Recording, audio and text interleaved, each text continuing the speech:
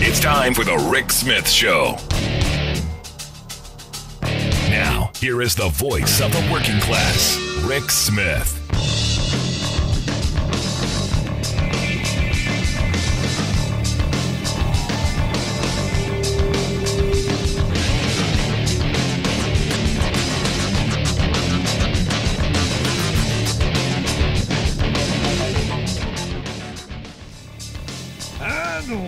Welcome, brothers, sisters, working class heroes. This is the Rick Smith Show. Thanks so much for being here today on the big program. Lots to get to, lots to talk about. Uh, looks like we've capped out. We've hit the debt limit, uh, according to the Treasury Department, and now we're going to start using some uh, a series of accounting maneuvers to make sure that the federal government continues to pay its bills and and you know doesn't collapse the entire global financial market. You know, just a little thing like that. You know, we've hit the limit, and Republicans, well, they've seen a, they've seen an opportunity. They are giddy. Our GOP friends giddy with delight over the prospect of checking another box off of their harming workers wet dream list, going after Social Security and Medicare. Yeah, yeah, you you knew it was coming. Look, not surprising. This has been their oh, this has been their moment. Oh boy, this has been this has been their fantasy. This is what they dream of. This is what what keeps them up in the middle of the night, dreaming and fantasizing about. Basically, you know, getting Granny back on the cat food. Uh, now you had this this this messaging machine. Uh, Republican Rick Allen from Georgia. Uh, he just recently said that you know cutting Social Security was a good idea because you know people want to work longer. Huh? You want to work longer. Absolutely. So, yeah, cut that Social Security. Yeah, you know. And look, there may be some people out there that do want to work longer, that do want to continue, and we should make that possible. But we, we don't go, yeah, because some one guy wants to work longer, you're going to have to work until you die. I'm sorry, Rick, not buying that. Uh, you had Republican Representative Michael Waltz from Florida um, on national television say that um, if we really want to talk about the debt and spending, it's the entitlements. It's the entitlement programs. You know, Social Security and Medicare. This is where they're going. The Republican Study Committee, the big group of the GOP, the GOP Brain Trust. I'm sorry, I can't I can't say that without laughing. Um, they they've got their 2023 budget calling for massive cuts to Social Security and Medicare increasing the Medicare age to 67, increasing Social Security to 70. And when the speaker, you know, the guy who sold his soul, uh, was asked point blank what his intention was on entitlement reform, is that part of the negotiations, Mr. Speaker? Um, he said, well, he wouldn't predetermine anything. And what that really means is, mm, yeah, duh. We've only been telling you for a couple of decades now that we want to destroy this. Duh. Breaking news over at the F channel. Breaking news. Headline Retiring early could actually harm your health, according to a new study. Breaking news. Now you got House Republicans, you got the, the GOP Brain Trust, the, the study committee saying, no, no, we want people working longer, and the, the, the media mouthpiece saying, no, no, it'll harm your, it's going to harm your health if you retire. You should work till you die because it's going to be good for your brain. Keep working. Because if you retire early, harmful, bad, bad. So keep working. Now, this according to the Journal of Economic Behavior and Organization. And their argument is, is not wrong. It's not wrong that if you retire and you do nothing, you're probably going to have some, some problems. I think of retirement as going to do something that you want to do. You worked all those years, you saved for the, the golden period of your life. Now you go and enjoy things. Spend time with the grandkids, volunteer, do something. But no, they're going to spin this as no, no, we can't let people retire because you know they'll just they'll do nothing, and we need them to get to work. Now, what's interesting is you take the the Republican wet dream of destroying Social Security and the safety net for our seniors that's pulled uh, seniors out of poverty. the best anti poverty program that we've ever passed, I believe. You've married it with the F channel and the media moguls here in this country saying, hey, you know, it's bad for you if you retire. And then we, we got this little thing in Davos going on where they're saying that we need to disrupt disrupt our approach to retirement savings. Because you know people are living longer and you know we, we have mandatory retirement ages and so we should scrap that let people work you know, forever. And it's it seems it seems interesting to me how all of the the forces of the wealth class are aligning. You've got the Republican politicians, you've got the American media, you've even got this, uh, you know, this little economic forum that they throw on every year to tell us how we're going to solve our problems without actually solving any of the problems or having a plan to do that. You know, like funding things. Oh no, I can't pay for that. No, no. While we're speaking about Davos, I see Joe Manchin. And you know we can't have one of these stories without Joe Manchin. Uh, you remember the other day we talked about him and Kyrsten Sinema high fiving over the idea on the on the foreign stage that we're not going to do anything on the filibuster reform because we're not going to no we're not going to raise your taxes, rich people.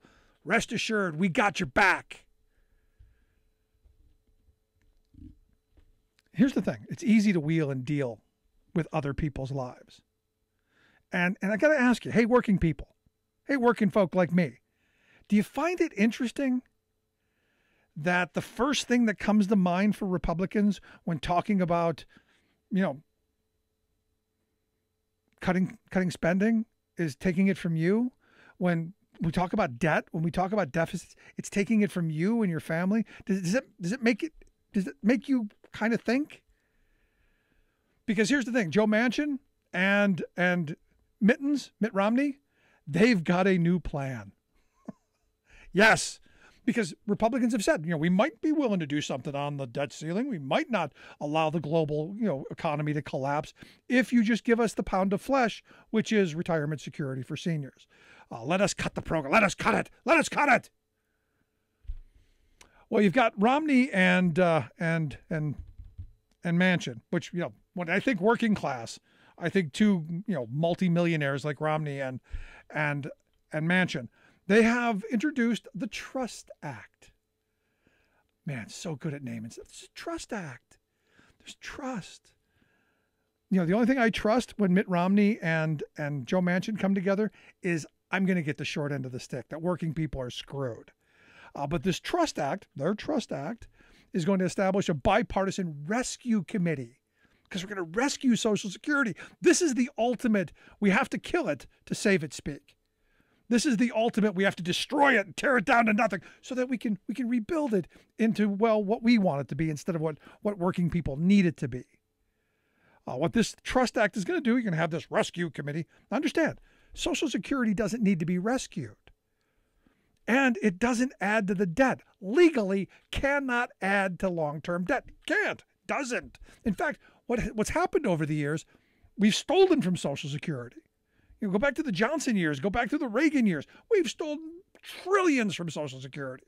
And now working people again are going to have to take it on the chin because, well, we don't want to raise taxes on rich people. That's what this boils down to. Understand that. So you think about it, you know, what what rabbit does does Manchin pull out of his hat?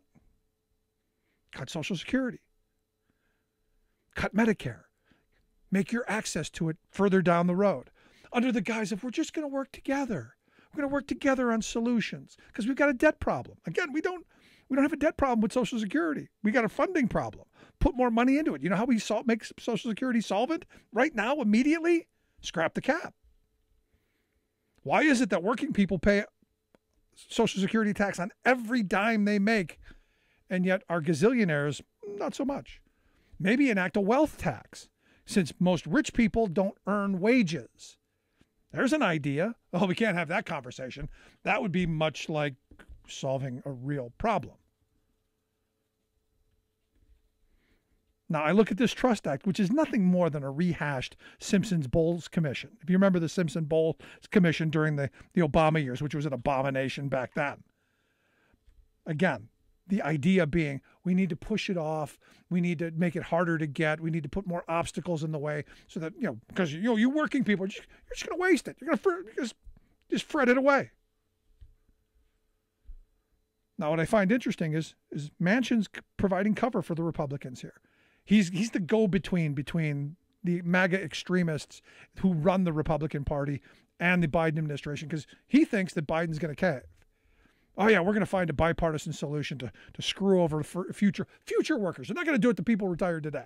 So, Granny, rest assured, you're okay. Your grandchildren screwed. Your children probably screwed, but definitely the grandkids. And yeah, no big deal. As long as we've got our gas stove that we can hold on to. But understand, our MAGA friends and, and MAGA people, understand, this means you. This is your social security too. This is your safety net. This is this is your retirement they're fooling with. They're going to hold the, the debt ceiling as a hostage tool to get the pound of flesh, your retirement security, to be put into, well, there's more talk of privatization again. This is another manufactured crisis. This is another in the GOP playbook to get their pound of flesh. And of course, as I say all the time, Republicans hate working people. Again, look at another policy. Make no mistake about this. This Republican Party is going to use this debt crisis to harm working people. And that's the point. The cruelty, I, keep coming back to this. The cruelty is the point. So my question, my question to the audience, my question to you is what are you going to do about it? What what's the plan? How are you going to stand up? You made the mistake of putting these these these these economic terrorists in Congress. What are you going to do about it? I look at France right now. Oh, you're not going to bring up France yeah, their working people get it. In France, they're talking about raising the retirement age to 64, from 62 to 64. Think of, think of this. This think of this. They're talking about there, there's there's an idea, there's a plan. They're striking in the streets. The trains have stopped. Electricity supplies have stopped. The streets are jammed. They're saying, no, the people are speaking. Here, we've got the F channel. We've got the F channel. You know, if you retire early, it could be bad for your health. You need two or three jobs. It's working, you know, two, three jobs. It's good for you. Uniquely American, as George Bush once said. I keep coming back to it. How many times do we have to play this this this reel? Because we've seen this movie over and over again. This has always been their their fantasy. This is their fetish. And it is about the power and it's about the money, but it's also about the cruelty.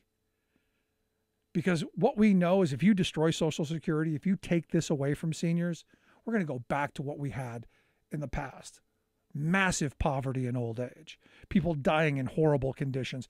And that, I got to think, just makes them giddy with, with glee. Love to hear your thoughts. Email me, rick at the ricksmithshow.com, or give us your thoughts, 1 416 Rick, 1 416 7425. Going to take a quick break. Right back after this. Stick around. Listen to The Rick Smith Show. We're working people. Come to talk.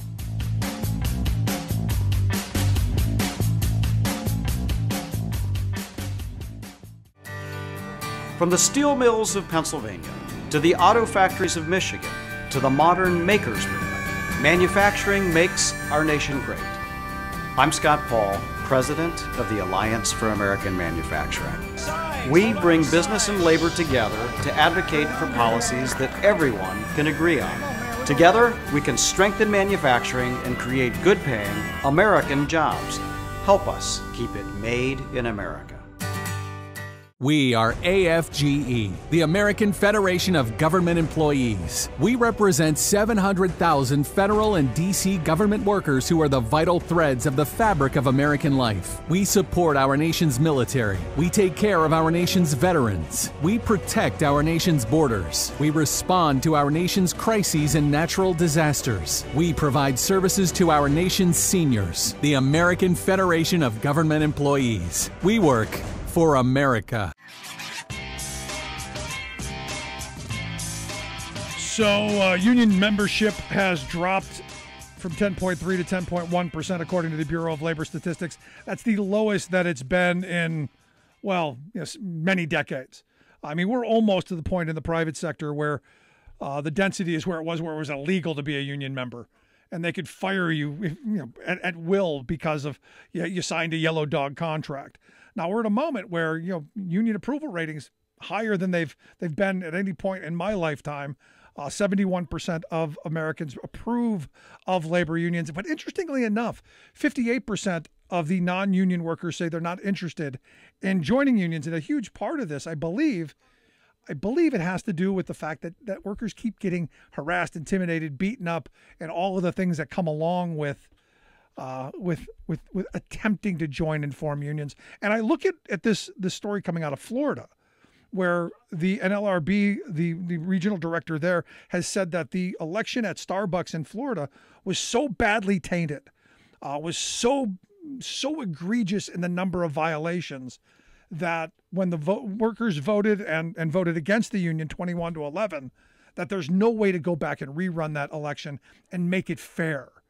And what they're talking about doing is imposing imposing a mandate to bargain. And this is what I said back when uh, Amazon, you know, beat up their workers in in Bessemer, Alabama, with all of the, the, the plethora of egregious violations.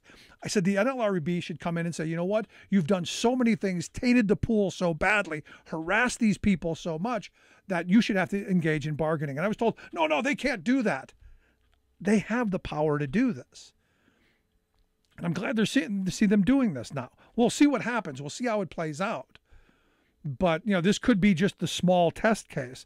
I mean, at a huge facility like Amazon, that's that that's a big lift. But this is I'm telling you, this is is something that has to happen. We need major comprehensive labor law reform to ensure that workers who want to form unions and want to join unions can join unions. This is this is one of those this is one of those moments that I'm just, you know, we just need it. Uh, it, it, really is. Uh, when the numbers are that are that stark, uh, it tells you something something needs to be done. Uh, let's go to the phones. We got Bob from San Jose on line one. Bob, how are you doing today? Pretty good, although I can I can barely hear you. Because, uh, I'm a broadcast engineer. I can tell you that the the uh, transmit level coming back on the uh, on your hybrid is not high enough. I can I can hear you, but not very well. Well, then you should come over and help me fix that because we've been working. I would, I would. I'm in Silicon Valley, which I'm sure is quite far from you. By the way, it's spelled S I L L Y hyphen C O N. Silicon, and lots of silicons have happened out here. Uh, no, what I, what I was calling about is is there is a, a I guess you could say Puritan a puritanical school of thought that goes back hundreds of years. I, I call it a Christian heresy, and, and and what it is is they they assume you are in effect a sinner by by birth and whatever, and and and along through your life, if you don't have wealth, it's because you made mistakes, you made bad decisions, and God did not bless you. So if you have wealth, God did bless you. That's the proof that you are a good person. But if you don't have wealth, then you then you are a bad person, and you deserve your consequences. And and um, th- this is a, a let's say I call it a Christian heresy because it, because I have heard this is in a uh, some churches, and the Puritans were one of them, have this as as their core belief. Yeah, it's the prosperity gospel, people. You know, you're absolutely right. Well, prosperity gospel is is a piece of it on the other side, if you will. Uh, but this is this is the one that, that if, if if you're poor, it's because you made bad bad decisions and you need to suffer your consequences. No, I agree. No, what's interesting though is they follow the guy who said, you know, help the poor, feed the sick, heal the the, uh, the sick, feed the the hungry, clothe the naked. I, at least that's oh, what the yeah. book says. Oh no, that that's where I'm coming from. But but there's these people who who point fingers and say, well, you made obviously you did something bad. You made bad decisions. Therefore, you get your consequences. Gee, sorry. No, I agree with you. You were born into the wrong family. You should have been born well, rich that, like you us. You could say that. You made a, you made a bad choice of, of who your parents were. no, it's it's sad, and the reality is it comes out in our policies, doesn't it? Well, it, it it's you know I I tend to to look at uh, things as as I, I tend to think of life as being like we're in a lifeboat and we're sharing this lifeboat together. We can either fight with each other and point fingers at each other and go around in circles, or we can cooperate with each other and help each other. In which case, we might make it to shore together. It's a good way of thinking of things. I wish more people thought that way. Yeah, well, see, I, I, I'm blanking on where it is. It's somewhere in the Bible. The Calvinism, by the way, is the name of that that sect, that thing I was talking about. Um, it took me a while to come come back to that because it's such, I find it such a detestable thought. No, I'm anyway, I do want to thank you for being on WCPT, which is the station I listen to, even though I'm in San Jose uh, through the internet. It's, it's amazing, and we love our folks there in Chicago uh, and all of our radio affiliates. Uh, and I appreciate you tuning in. Thanks, Bob. Oh yeah, thank you. Bye. Love to hear, hear you call back again. No, I mean he's he's not wrong. Look, these religious elitists uh, who look down, and this is the reason that I'm I've taken a I've taken a beating over the years for this for saying that I don't think churches should be the place where we help the poor and the sick. This is where policy, you know, government policy, us using our government as a tool to do the things collectively that we can't individually do. Helping, helping the sick, helping the, the poor, uh, you know, making sure that no child goes to bed hungry. Which good on Joe Biden here in the next couple of years. They're moving towards uh, ending childhood hunger. Should have done that 50 years ago but this this idea that though the churches will will be benevolent and dole this stuff out i wish that were true it's not and i've lived that experience of having the church folks look down their nose at you while they're giving you half measures because they do have this belief that they're better that their wealth that their economic power makes them superior not just in in public spaces but in the eyes of, of the, the heavenly spirits and that's dangerous because when they are allowed to, to move those ideas into policymaking, again, it comes back to the cruelty. The suffering that you deserve, you're going to get. So we're going to take Social Security, we're going to take Medicare, we're going to take food stamps, we're going to take heating assistance because you don't deserve this. Because you know, just like Bob said, you know, you did something wrong. You're being punished, and you deserve this. These, this is the thinking of these folks, and it's scary because, well,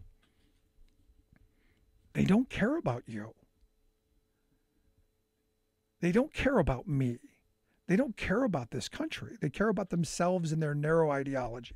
And that's what's frightening to me uh, because we've, we've, as a society, I think moved a little bit in that, not totally, but a little bit in that direction to where it's okay to, to, to kick the, those who are down instead of reaching that helping hand uh, out and helping someone up we can get back to it. We can come together. Least that's my hope. Want to hear your thoughts? Email me, rick at the ricksmithshow.com. Going to take a quick break. Right back after this. Stick around. You're listening to The Rick Smith Show. We're working people. Come to talk.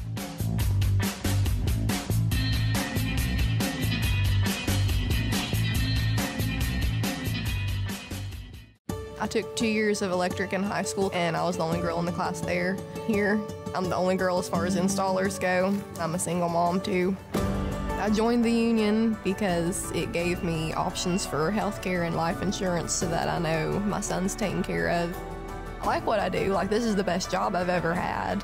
You think solar panels is more like California. You wouldn't think Appalachia would have any. It would be smart if the government would invest more in clean energy resources.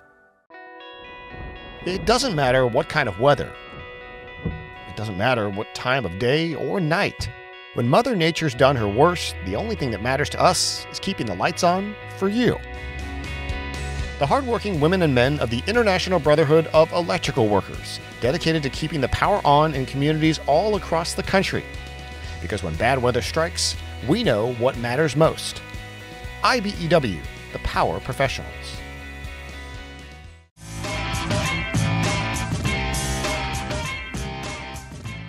I've been taking a lot of a lot of guff here the last couple of days because I've said, look, you know, these failed states in the South that don't help their citizens, don't protect their citizens, don't lead uh, to look. Places like Arkansas, like Georgia, like Alabama, like Mississippi, lower life expectancy rates, higher infant mortality rates, higher poverty rates. All of the negatives are higher, all of the positives are lower. Does it mean that I have a problem with the people of, of Alabama or Arkansas? No, I've, I've met them. They're beautiful people. I want the best for them. It's their policymakers, it's the ideology that's being rammed down people's throats. That's what I have a problem with. Practice your religion, do your thing, but don't push it on other people. Yeah, I go back to I, I was thinking about a, a, an acquaintance I had years ago, and and I I can remember it like it was yesterday because it was so such a foreign idea that I was just like, wow. So you you literally reach into a box of snakes. Uh, as part of their religion, they reach they would reach into a box of snakes and, and pick up and handle the snakes because in the Bible it says something about handling snakes. And I said, well, what happens if you get bitten? You know, oh well, we've got the anti-venom in the back. And this this comes back to that mental gymnastics that a lot of my Republican friends have. I said, well, hold on. If the test is you reach into the box and it's God's will that the snake bites you and you die, aren't you usurping God's will? No, no, no, no. The mental gymnastics come. You know, if God didn't want us to have the antivenom, He wouldn't have allowed us to create it. And I'm going, okay, well, what's the point then? If if if if, if you're supposed to, you know, reach into the box, God's will is you get bitten and you die, uh, but you have the ability to to not die. What's the, what's the exercise for? He said, it's it's to make us lead better lives. And I'm going, at a certain level, okay. How many times have you been bitten? Like seven or eight really?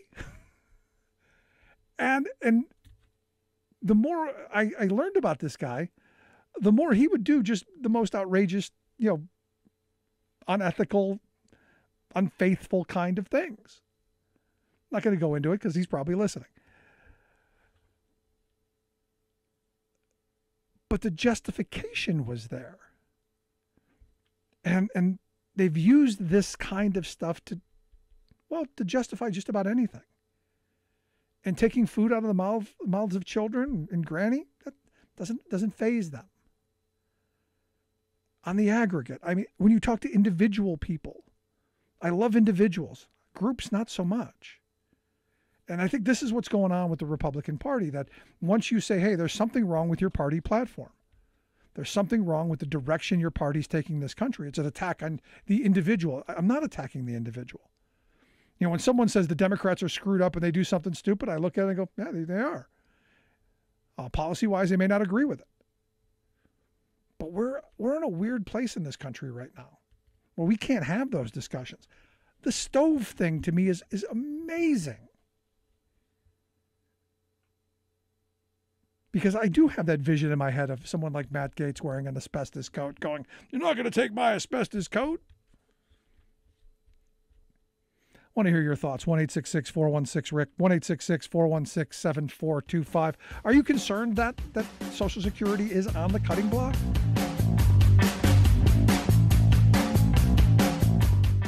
Calling all builders, all welders and roofers, engineers and electricians, calling all brick masons and boilermakers, steel workers and steam fitters. Your country is calling you to rebuild America to create a cleaner, safer, more prosperous future for all. Tackling climate change, this is the job of our lifetime. It's time to build back better. Let's get to work.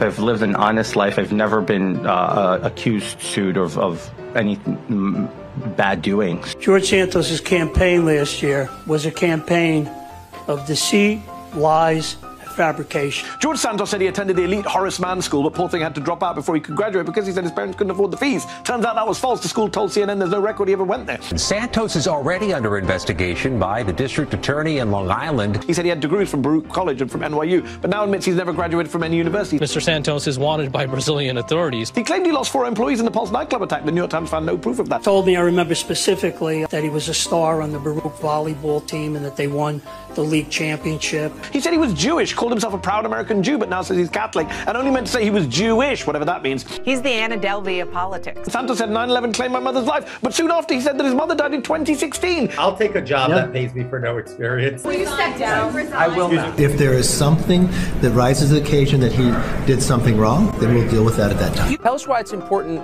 for you to burn a cigar occasionally in your office. Well, thank you for having me, Tucker. It's all about freedom.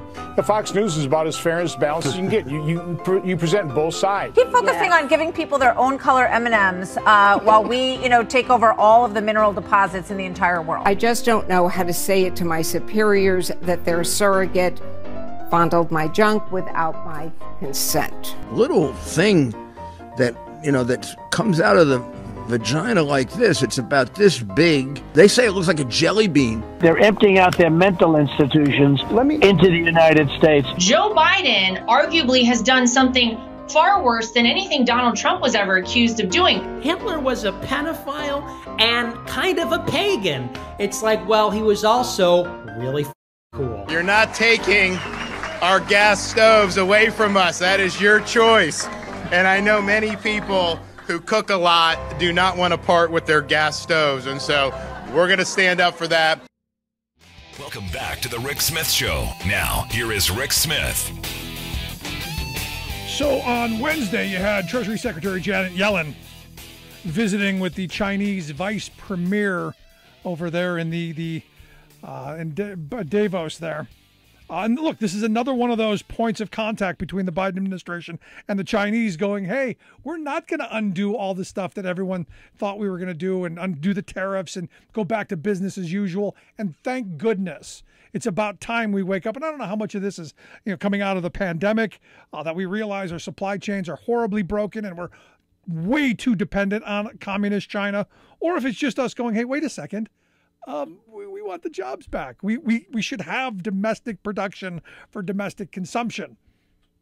Heading in the right direction. At least I think so. And here to share some thoughts on well, are we? And is the administration doing what we need to do? And are they doing it fast enough? That's why I've asked Emily De La Bruyere to come talk with us. She's the co founder of Horizon Advisory.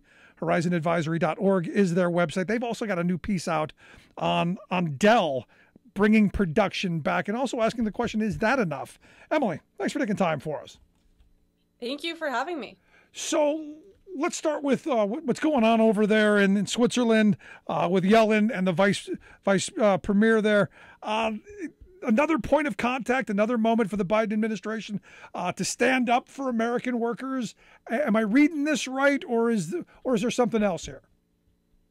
I mean, obviously, I always have to see the glass half empty because that's why you have me on.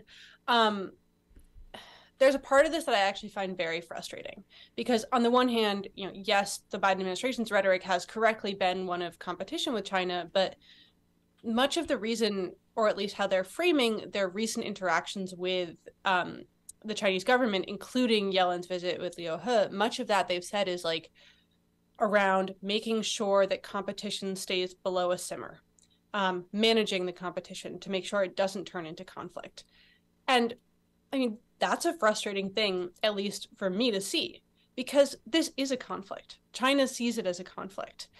And saying that the US is trying to manage it to keep competition limited to certain domains or below a certain threshold means that China doesn't take us seriously because they know that we're constantly going to try to find a compromise and that we're going to try to de escalate the second anything gets too extreme.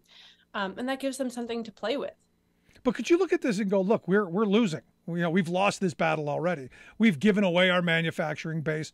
Uh, coming out of the pandemic, I think most of us realized our supply chains are way too broken and we're way too dependent. Uh, and you, maybe I'm giving them the benefit of the doubt here of going, look, we're in a weak position at this moment. Um, and this is a negotiating tactic as we try and reclaim some of my manufacturing, or am I just justifying? Maybe you're the pessimist, not me. This is great.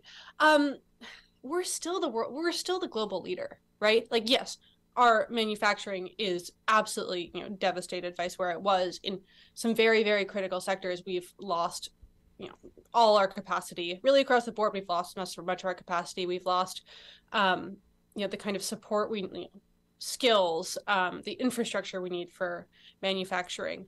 But we are still the dominant global power. And that gives us i think more leverage than you know saying that we're losing gives us credit for. We do control the global system. China is very dependent on us in key domains. We have strong allies whom we can and should be pushing. We have a strong private sector.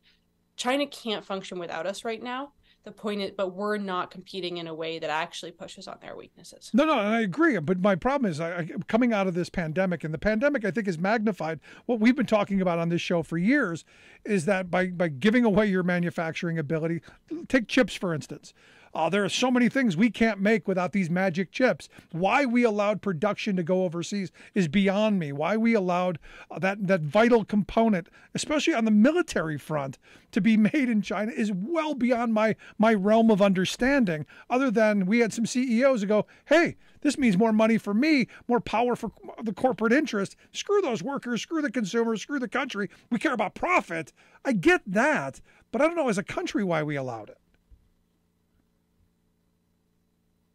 Because we're short termist, because we didn't look in the long term, because we love convincing ourselves that you know the myth of globalization is right and everyone actually is out there for mutual interest um, because we bought China's propaganda um, did, did, we buy it or did they did, did corporate America sell it to us uh, in in prepackaged little Madison Avenue kind of talking points? Because I never bought the whole thing of hey, let's go get cheap products from somewhere else and bring them back here, and we won't make it here, and it's going to be great. We're all going to have corner offices and wear white tie, white shirts and ties, and be able to buy all the cheap plastic crap we can get from China, and it's going to be utopia. That never lasts.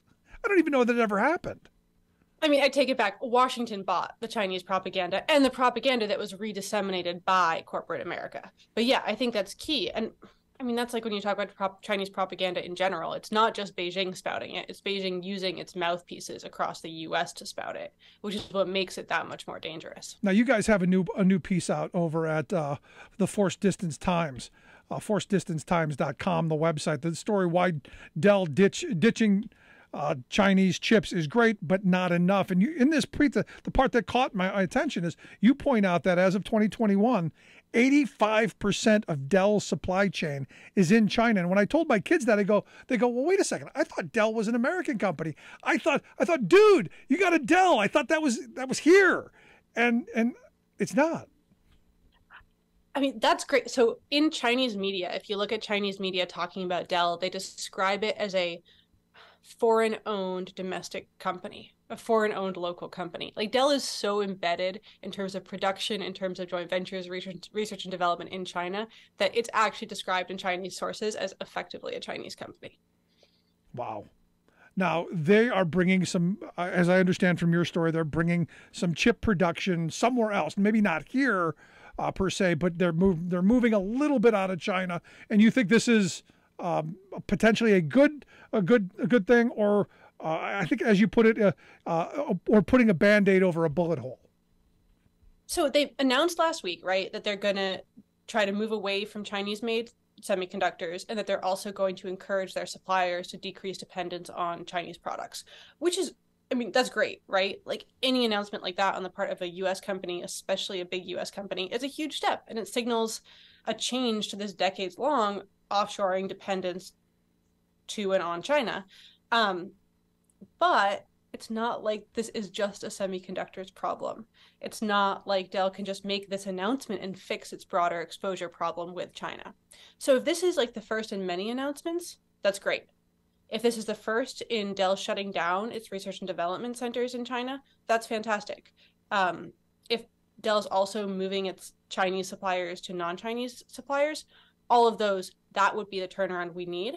But the risk is that Dell, the US corporate sector, the US government, what have you, have minimized the China problem to one about semiconductors or about very, very specific nodes that are buzzy and have press attention, and therefore missed the reality that this is a much, much larger industrial problem across every sector, every node, and every value chain um, across the board. Now, help me here because, you know, I've been I've been encouraged by what the administration has been doing on the chips bill and, and, and some of this stuff of reclaiming manufacturing and, and bringing it back. Not thrilled that we have to pay for it, but eventually we have to get it back one way or another. Uh, because we do need to have the ability to produce domestically, uh, if not just because it's going to create the jobs in the economy we need, but you know from a national security standpoint, if you can't produce anything, you're kind of screwed in in a world if you're going to be a military power. Uh, I look at the administration as, as moving us in a direction to get away from the same horrible neoliberalism that that caused this this kind of uh, situation. The bad trade deals, the bad uh, the corporate pipeline that ships jobs overseas that we have to fund. Do you hold my optimism that maybe this is the beginning of a of a, of a change globally, or is this just an opportunity for the moment? Because uh, I'm hoping that this is the change I've been I've been screaming about for decades now. Um, first of all, you need to manufacture not only for national security, but also economic security. Like, how are you supposed to have growth, have opportunity, have a country that builds if we can't make anything?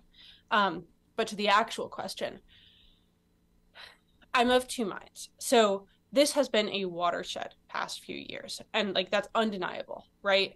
There's new production coming to America. There's a new rhetoric about nearshoring and reshoring, and companies are and investors are taking it seriously that said, and it's really like the Dell story magnified, this is not enough. The CHIPS Act is not enough. That approach to industrial policy or to reinvesting in American production is not enough because are we really going to take the CHIPS bill, all tens of billions of dollars of it, and do that across every value chain that matters and every node in every value chain that matters? Um, that's not what the US does. Like, that's not how we operate. And think how much we would have to pay for that. Like, there has to be a broader approach, one that realizes that there are things beyond semiconductors that matter, but also it's not going to be the government directing everything. Um, and part of, I think, what that means is imposing real costs on China for distorting markets. It's not just subsidizing to bring, you know, U.S. subsidies up to match Chinese subsidies. It's also punishing China for their non-free market approach. Um, because if we just keep building subsidies after subsidies, China's going to win that contest. Um, that's like competing against Beijing's greatest strength, which right. is not going to be good. no, because we our political system doesn't allow for that. I mean, just to get the the meager investment that we've gotten in infrastructure and this chips bill, which both historic, uh, but not not big, not chunky, not bold, not visionary like I would have liked to have seen. In fact, the infrastructure bill was a 1.2 trillion dollars, and you've got the American Society of Civil Engineers saying we need 4.8 trillion.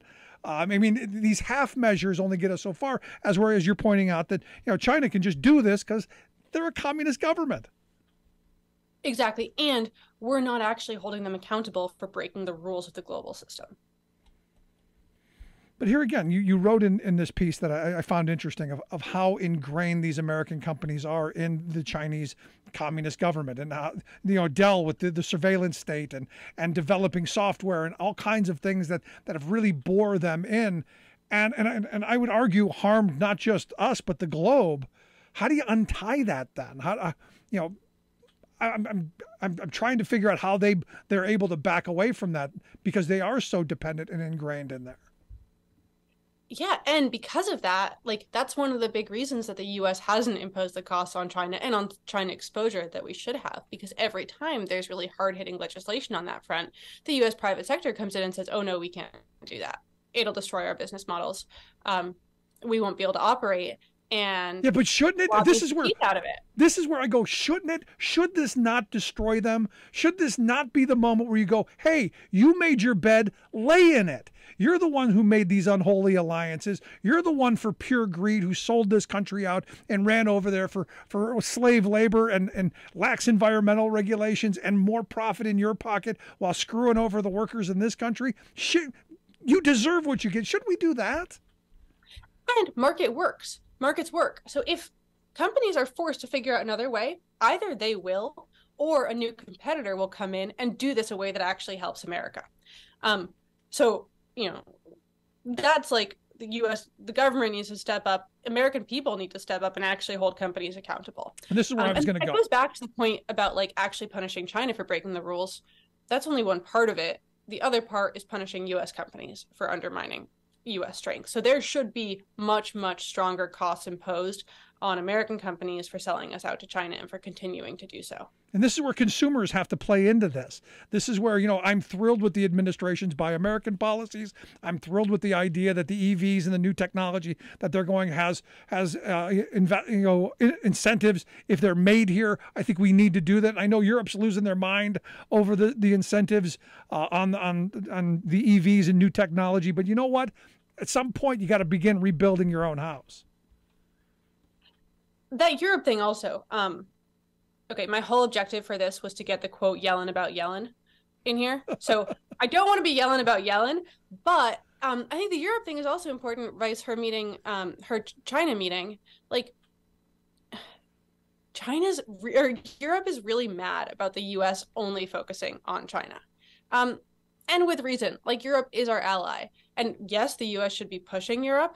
Um, but like now is the chance to do so rather than signaling to them at Davos that all we care about is China and all we care is our kind of like flip-flopping approach to China. Um, and just you know following those proceedings from a distance, I have like been frustrated by the U.S. like not actually sitting down with our partners and being like, here's what we're doing, here's why it matters. Let's try to get on the same page about this.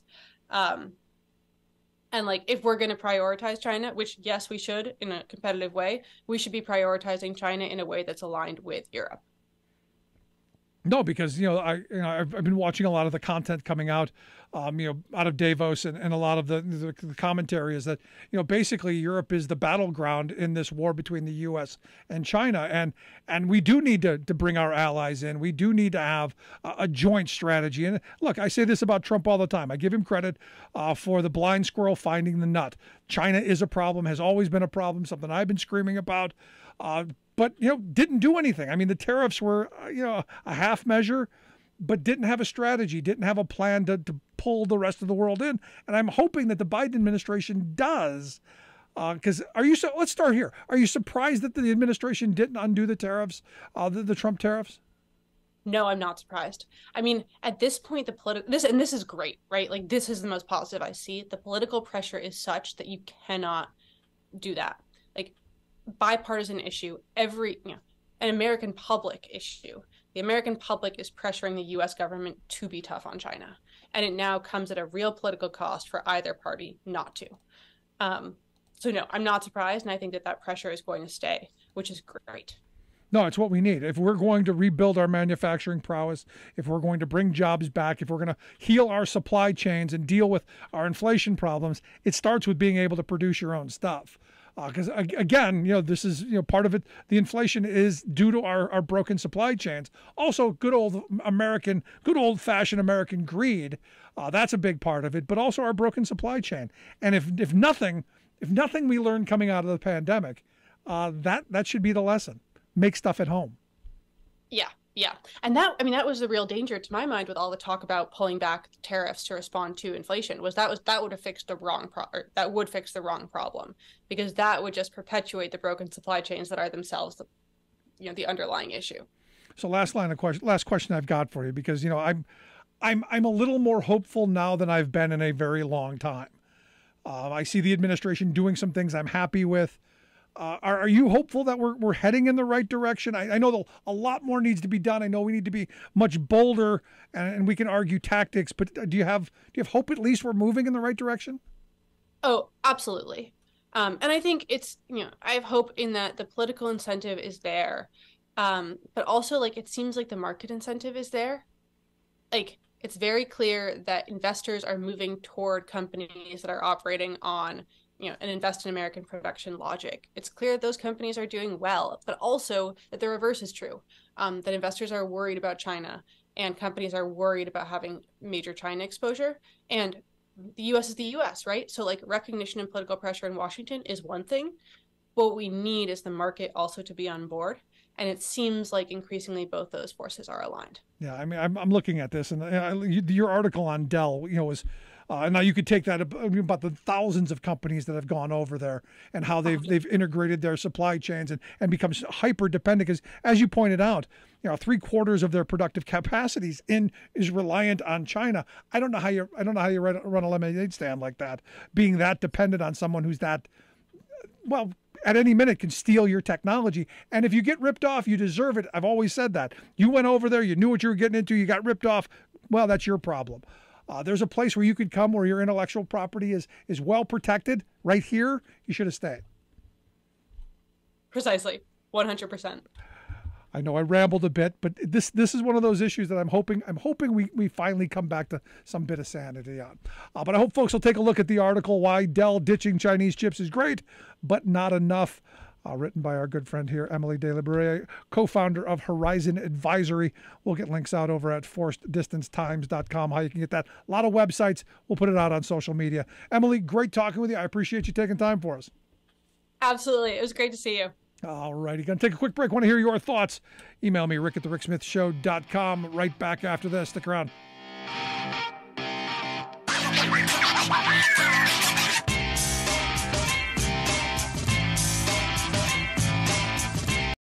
I've been driving buses for five years, and my day to day routine is I wake up a little earlier than most people. I get on a bus, I go out, I pick up some students, and make sure they get to school nice and safe. Here in Fairbanks, Alaska, that can be a challenge because of the winter weather and the icy roads.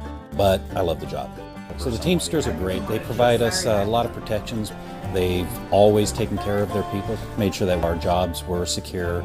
We didn't have to worry about whether or not we'd have a job from day to day. Uh, and that's amazing because before we'd be working four, six, eight hours a day and only earning minimum wage was real difficult to make a living. Then the Teamsters pushed the law so we make something we can live off of and not have to have a second job. What absolutely gives me peace of mind. The, the union membership allows me to focus on this job without having to worry about whether or not my family is going to be taken care of. I'm Andrew Case, and I'm proud to be Teamsters Local 959.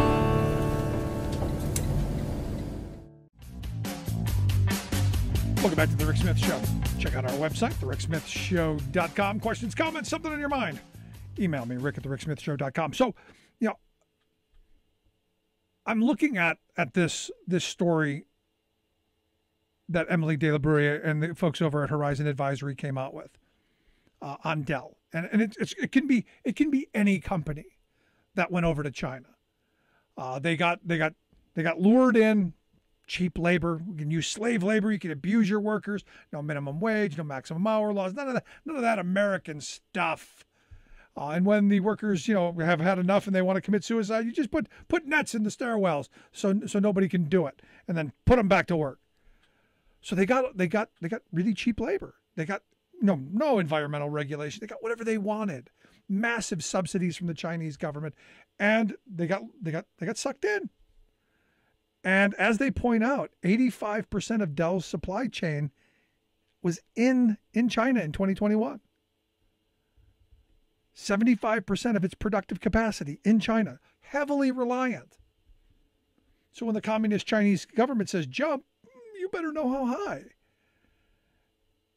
They put their research and development plants there. They've they've worked on, on surveillance. They've worked on you know all kinds of things that I would argue not great for democracies and basically stole their technology and, and, and are taking over their technology. And you go, well, well, why would they do that? Well, it, it's it's it's the greed. It comes back to the the greed of our our cap our our our CEO class, the folks who sit in those those those ivory towers and think about how they can maximize their own wealth and that of the shareholders because the shareholder, shareholders are sacrosanct. We got to maximize shareholder wealth at all costs, even if it means you know using slave labor, even if it means screwing over a gener- couple of generations of American workers, stealing their pensions, crushing wages, all that stuff. And I've been screaming about this for years because of all of the negatives that come out of it. But I know, I but but Rick, you know, we get we get cheap stuff. No, we don't get cheap stuff. When you when you look at the, the total costs, it's not cheap. And from the national security standpoint, and this is what the conversation I had with my kids today, you know, as we were talking about this, you know, We won World War II for two reasons. One, we had an energy supply, and two, we had massive manufacturing capacity that can be moved over to war production. Do we have that capacity currently? You know, we just did a tour uh, back in, in October and into November, the Working Class Heroes radio tour, where we went to a, a lot of places where we used to make a lot of stuff. Uh, those buildings are hollowed out. Those buildings are remnants of what they used to be. I know we're not going to fight wars like we used to. Yeah, we're going to fight them with chips made in China. So the question is, is can we move faster? Look, I'm I'm happy with the Biden administration moving us in this direction of undoing some of the, the negatives of the last 40 years. I just think we need to be moving a lot faster. And we'll see. It's going to come down to you. It's going to come down to me. It's going to come down to us saying enough is enough and changing our, our thinking on what, what we've been sold over the last 40 years. What the economics profession has jammed down our throat as, as well, absolute. Want to hear your thoughts? Email me, rick at the ricksmithshow.com. If you miss any portion of the program, make sure you grab the podcast. Wherever you find yours, you'll find ours. Thanks so much for tuning in. We'll see you back here next time. You've been listening to The Rick Smith Show. Email Rick, email Rick at rick at thericksmithshow.com. Until next time, this has been The Rick Smith Show, where working people come to talk.